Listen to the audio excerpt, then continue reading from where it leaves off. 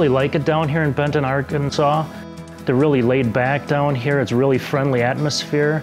Benton's a smaller community. It's really nice. So when I first walked into ACDI, I, I was really impressed. Uh, it's a brand new facility. Interacting with the staff was great. Everyone was super friendly.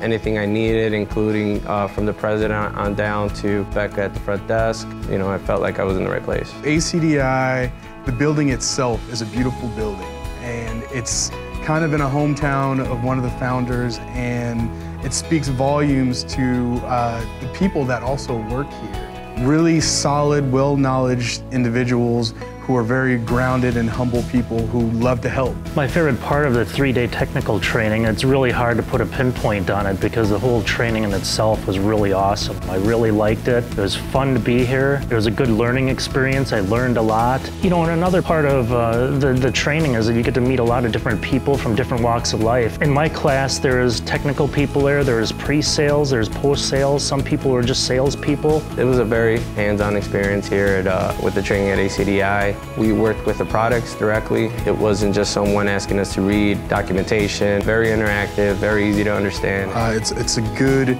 time to kind of really get in the trenches with everybody, share ideas, um, kind of meet face to face a lot can change over time, so it's really good to get a hands-on feeling. I would absolutely recommend this training to anyone trying to understand PaperCut. Actually, I think it's crucial. I think everyone should come through the training. They'll gain a level of confidence that I don't think even with the most experienced technician would have. You know, a lot of the colleagues, people that I work with, a lot of them don't get a lot of hands-on with PaperCut. They hear about it, they see it, they see the machines out there with PaperCut on it and it's a lot of intimidation for them. I think this class would be a really good opportunity for them to get a little bit of a taste.